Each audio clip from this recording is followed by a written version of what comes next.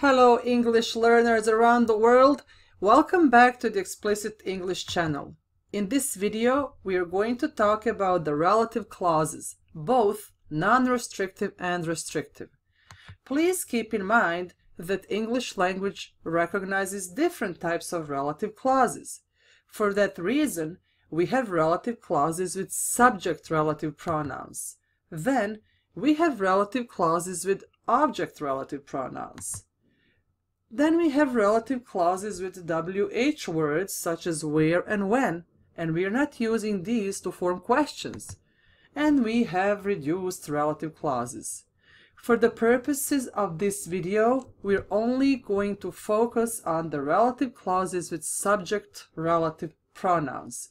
We will show and explain how we form these in English, how they show different meanings, and how we write them. So let's get on with it and let's go to the next slide. Subject relative pronouns. What are the subject relative pronouns? Subject relative pronouns are the words that refer to the subject mentioned earlier. The ones that we use for our topic right here are who for living things, which for non-living things, and we have that that we can use for both living and non-living things, and we'll later explain when we use that for both. So you may ask yourself, how is this important? How is this subject relative pronoun important for our restrictive and non-restrictive clauses?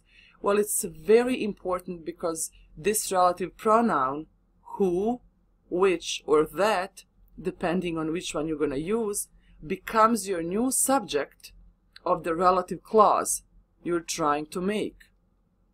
If you guys can quickly just recall, a clause is a grammatical unit that has a subject and a verb.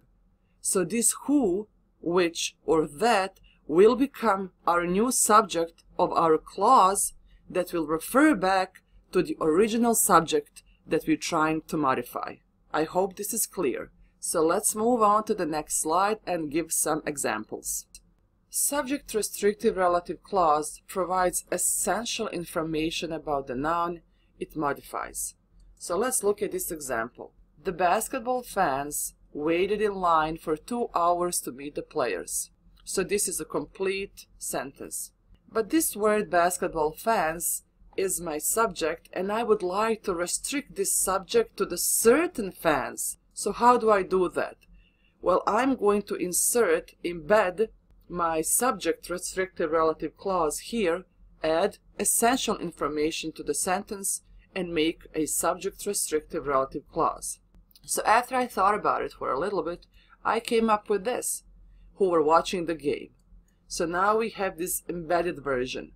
The basketball fans who were watching the game waited in line for two hours to meet the players.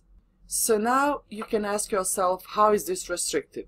Well, it's restrictive because I'm only restricting or limiting the basketball fans watching the game. They were the ones who waited in line for two hours to meet the players. So imagine there are so many other basketball fans out there, but I'm only limiting myself to the ones who actually watched the game. They were the ones who waited in line for two hours to meet the players. And this is how I get my subject restrictive relative clause. So who here becomes my new subject in this relative restrictive clause and this who refers back to my original subject, the basketball fans. Therefore, we have to insert it right here, right after our subject, so we know that it modifies this subject right here. Sometimes students will make this kind of mistake when they try to transfer to their native language. They would say the basketball fans who they were watching the game waited in line for two hours to meet the players. Some languages allow for this type of cross-linguistic transition. However, in English, we cannot use two subjects next to each other.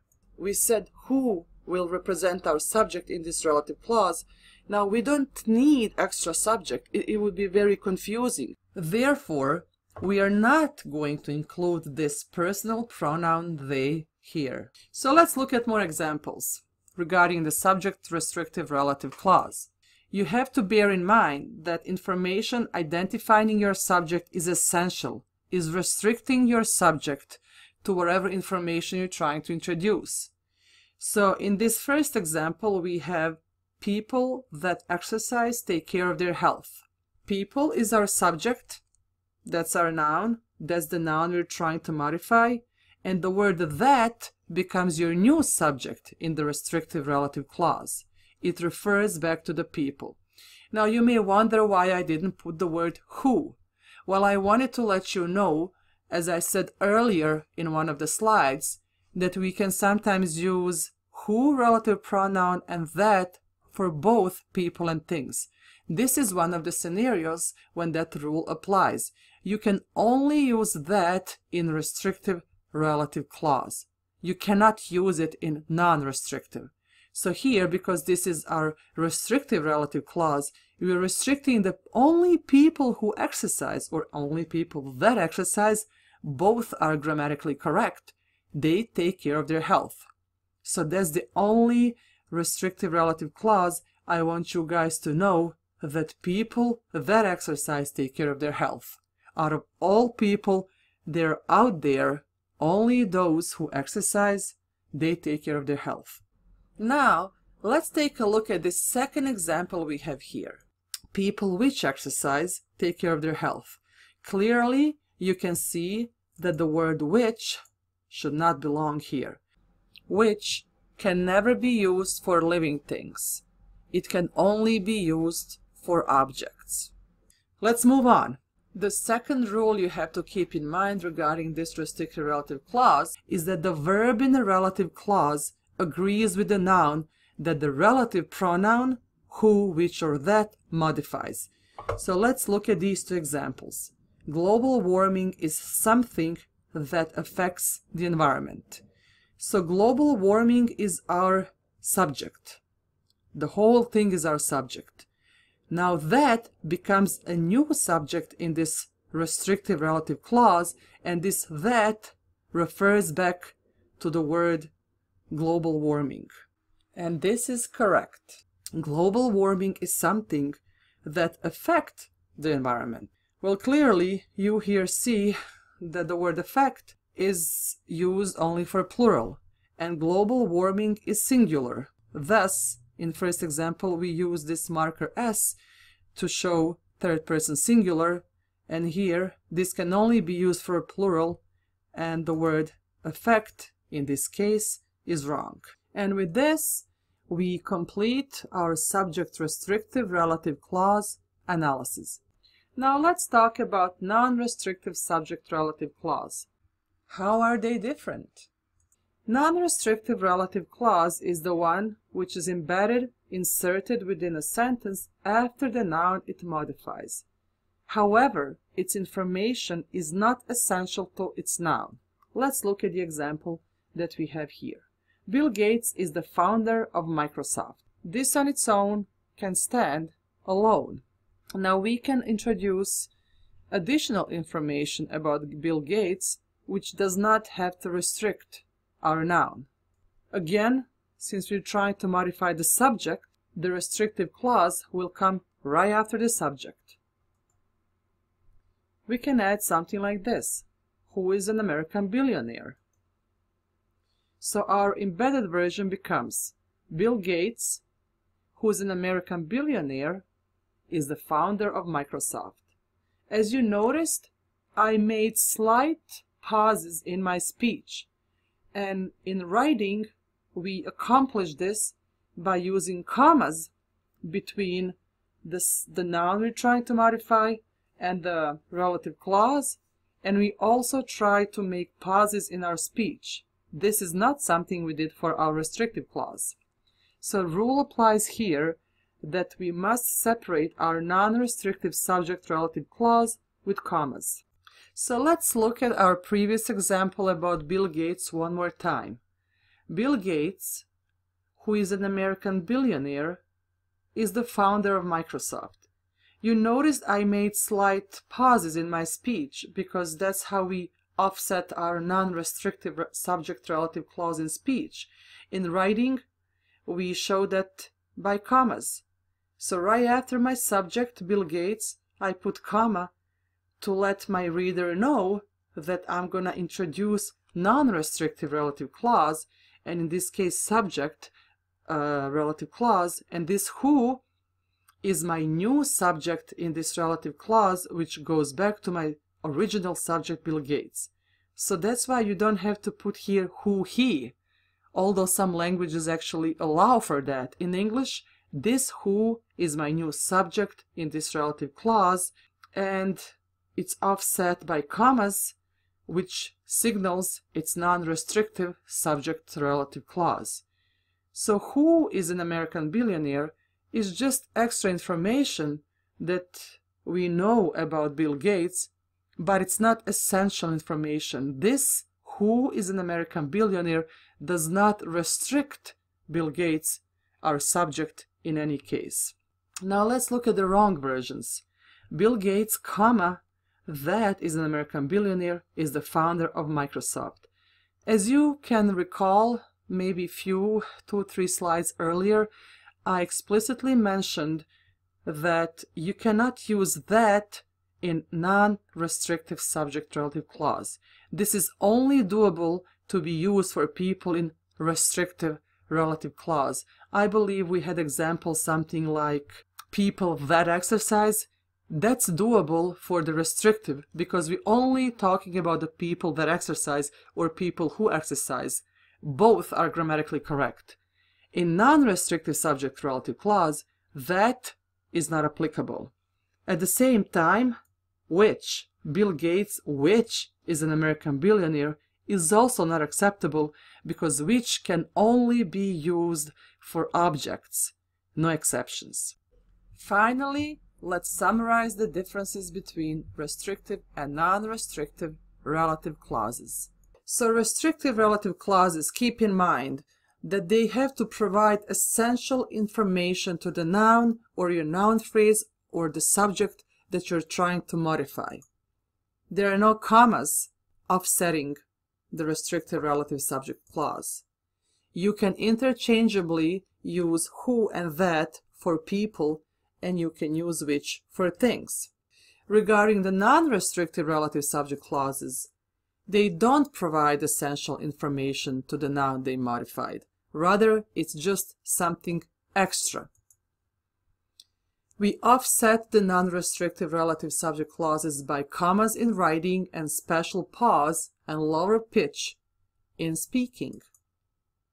We can never use that in the non-restrictive relative subject clause.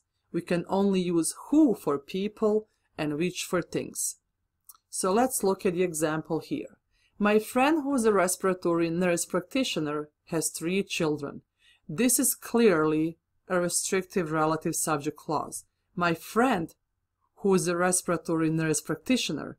So I'm restricting that among all of the friends that I have, the one that is a respiratory nurse practitioner has three children.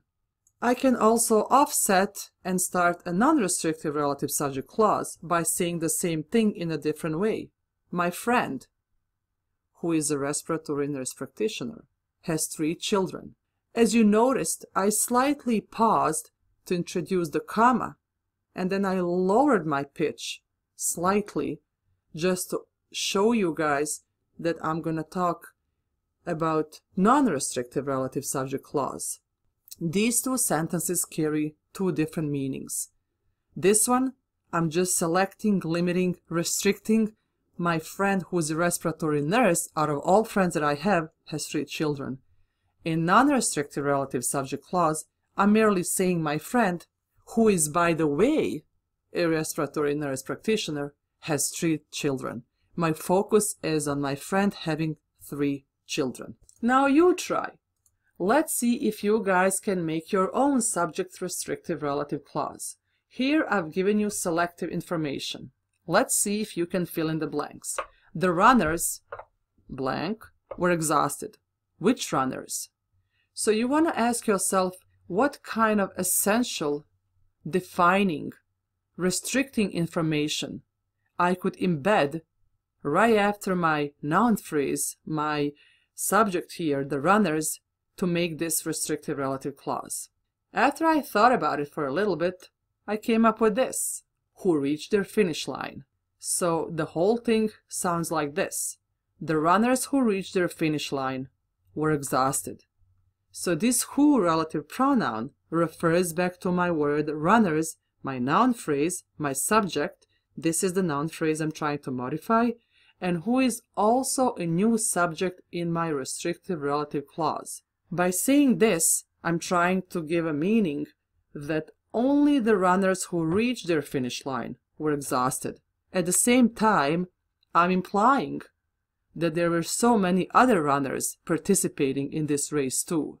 However, only the ones who reached their finish line were exhausted. And this is what makes my clause subject restrictive relative clause. Now, I can also say the same thing, but using different means of saying and different means of writing to portray different meaning. So subject non-restrictive relative clause would sound like this. The runners who reached their finish line were exhausted. So in this case, I offset my subject non-restrictive relative clause with commas right after the same noun phrase I'm trying to modify.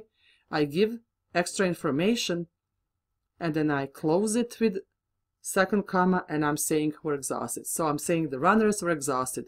The runners who, by the way, reached their finish line. So this is not really essential information for me in this case. Let's see if you guys can practice on your own.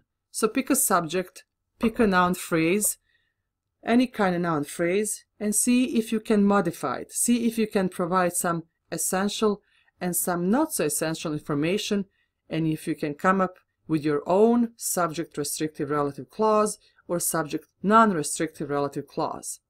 And let me know in comments. If you benefited from this video, please do like and share so other people can benefit as well. Also, stay tuned for our next video about relative clauses with object pronouns. Thanks for watching!